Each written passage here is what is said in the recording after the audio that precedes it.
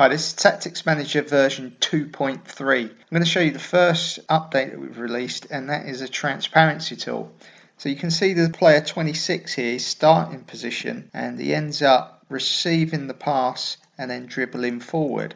So what I'm going to do is to show his starting position, I'm going to select 26 here at the bottom and then just make the transparency accordingly so it'll just portray his starting position. It's particularly good for player starting positions but you can use it for any objects at all. So tools, equipment, just select the object and then just use the slider.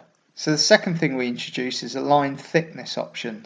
So what you can do, just select the lines and then adjust the thickness. The other improvement we made is with the wiggly line tool. Now you can adjust the curves accordingly. So if you want to show short, quick dribbles, then tighter curves will be ideal. Longer curves will be ideal for showing running with the ball, for example. Another useful tool we introduced is the speech bubble tool. You can adjust the text accordingly and resize it. So that's particularly useful for coach commands and player communication. We also made improvements to the text tool, so now you've got more control for aligning left, centre and right.